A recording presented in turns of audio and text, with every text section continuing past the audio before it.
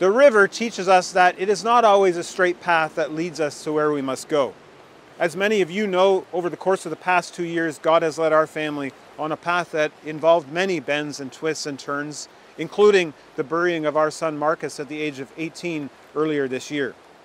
Last week, God put another bend in our path when Jennifer and I received an invitation from the special committee at the House of Commons reviewing Canada's euthanasia laws to present our testimony to them. While this is going to be hard, the emotions are still raw, we welcome this opportunity to present a Christian perspective to suffering and how you can suffer well and the resources are available in our country so that even when our loved ones are dying, they can live each day well. We ask that you pray for us as we present to this committee. We ask also that you pray for the committee members, the members of parliament and the senators who will hear our testimony, and that they will make a decision not to recommend expanding euthanasia to minors in our country.